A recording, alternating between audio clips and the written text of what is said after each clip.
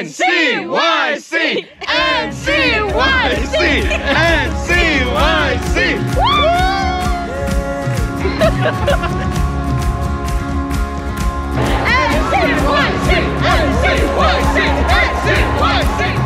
Wandering into the night, wanting a place to hide this weary soul,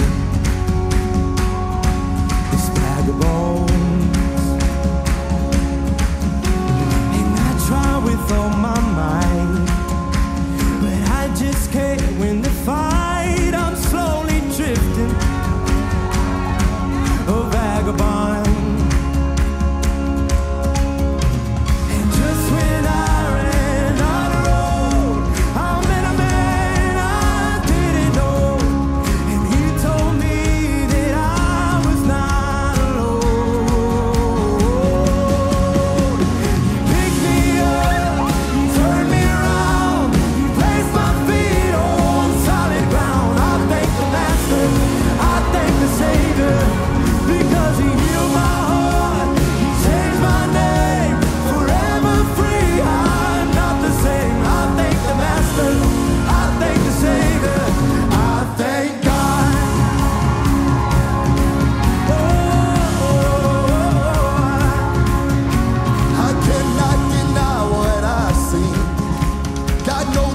But to believe my doubts are right.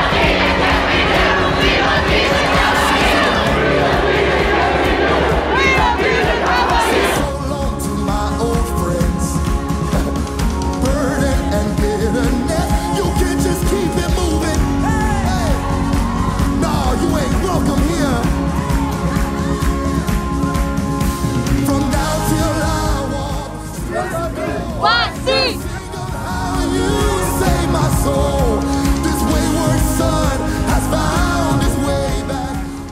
Good luck, Charlie.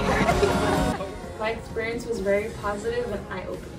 Hi, my name is Sarai, and um, my experience in this conference was amazing. I can say that I gained a lot from it. Um, mostly um, how to, I grew closer with my faith, I can say, and um, I feel like I can go out and like try to get closer more with like um, related things with my faith, going to church more, going to confession.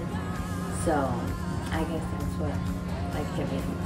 Yeah. It was awesome to see so many people excited at NYC, NCYC 2022, especially with my little sister.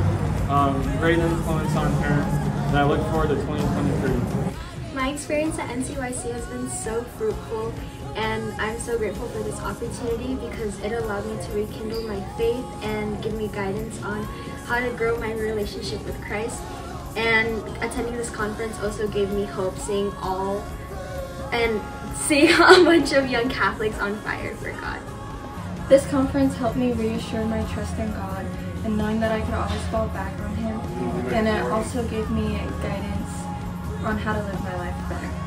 NCYC, it was amazing. It was unbelievable to see so many youth on fire for God, and it has moved me tremendously. Woo!